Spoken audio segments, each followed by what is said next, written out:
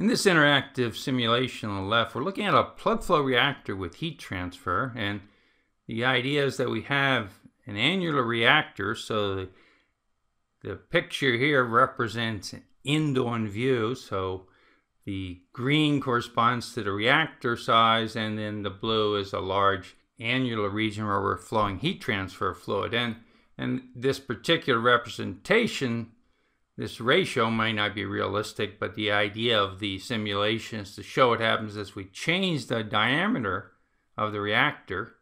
And when we do that, we're going to keep the velocities the same.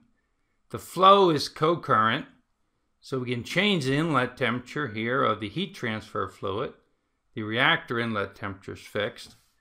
And we can change the heat of reaction. It can be either exothermic, negative values for heat of reaction, or can be endothermic, positive values.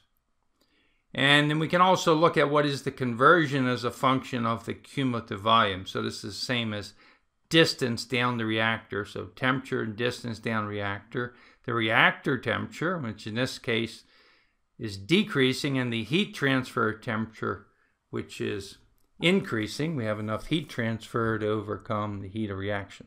So, so let's look at the interactive simulation to see how the behavior changes. So here's the interactive simulation where we're looking at a reasonable size radius relative to the annular region and a negative heat of reaction, so exothermic reaction. And you notice that the temperature rise is quite significant and we can see that what's happening is conversion is going to 1 as of course the temperature goes up, the rate goes up. If we increase the temperature of the heat transfer fluid, then this happens at even uh, shorter reactor distance or smaller volume. If we decrease it, we can dramatically decrease so that conversion does not get to 1. So Clearly, heat transfer has a big effect. If we look at instead an endothermic reaction, now the temperature is dropping and we won't have much conversion, namely zero conversion in this case. So if I raise the heat transfer temperature, again, we're not getting any conversion.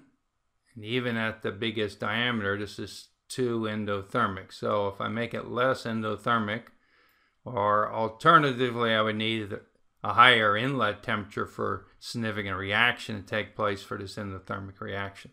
So the idea is hopefully this simulation gives you a little better feeling for how reactor behavior changes with the heat of reaction and the radius of the reactor.